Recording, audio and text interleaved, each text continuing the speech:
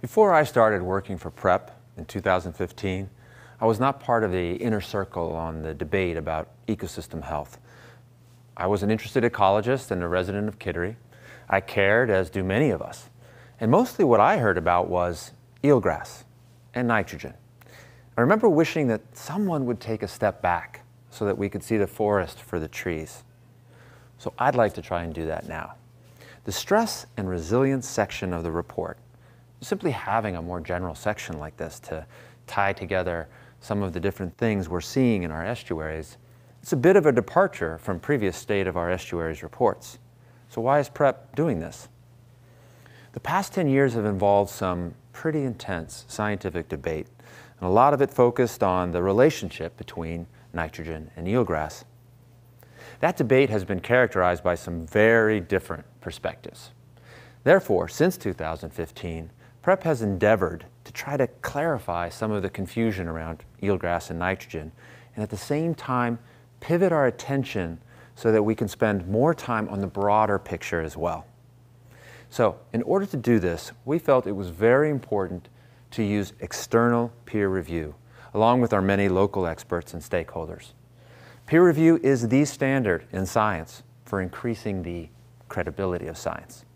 As many of you know, peer review was instrumental in getting us to rethink the numeric nutrient criteria that PREP and DES released in 2009.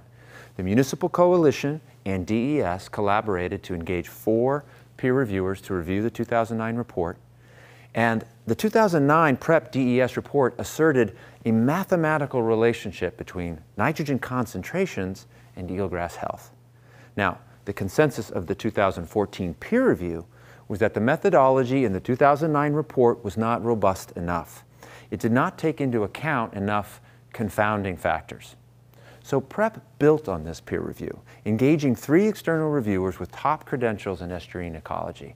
And these reviewers engaged with many of you in the watershed to think about the many stressors that are impacting eelgrass as well as other habitats. This stress and resilience section owes its existence to the people in that process, the advisors, our local experts and stakeholders.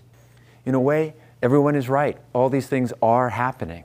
Slow and chronic stressors combined with quick episodic stressors, and everything compounding each other, making it very difficult to isolate the, the causal contribution of just one factor.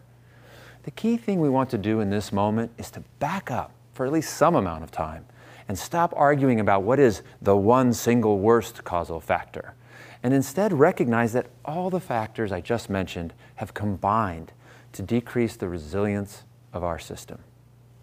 What is resilience? Resilience is the ability of a system to withstand stress, disturbance, and maintain its essential characteristics.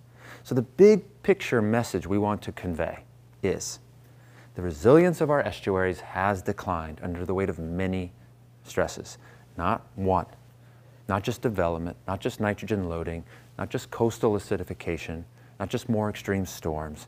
All of these things are happening. Changes in each habitat affect other habitats. Changes in stressors affect other stressors. Some stressors are amenable to management, others are not we need to address what we can. So I'd like to spend some time thinking more about resilience in general and then looking at it specifically as it applies to oysters and then to eelgrass.